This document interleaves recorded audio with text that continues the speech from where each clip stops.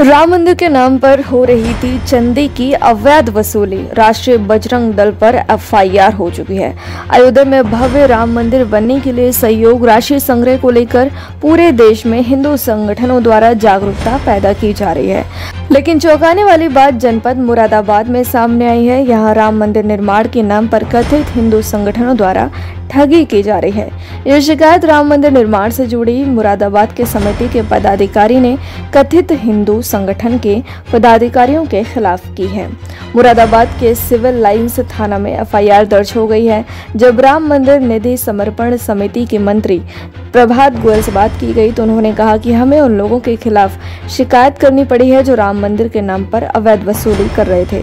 प्रभात गोयल ने कहा कि जब हमने एक एफआईआर उन लोगों के खिलाफ लिखवाई है, जो श्री राम मंदिर के नाम पर अवैध चंदा और उगाही महानगर में कर रहे थे।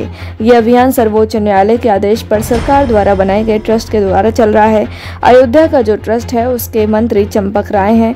विश्व हिंदू परिषद और संघ के सारे संगठन मिलकर इस योजना का क्रियान्वयन कर रहे हैं।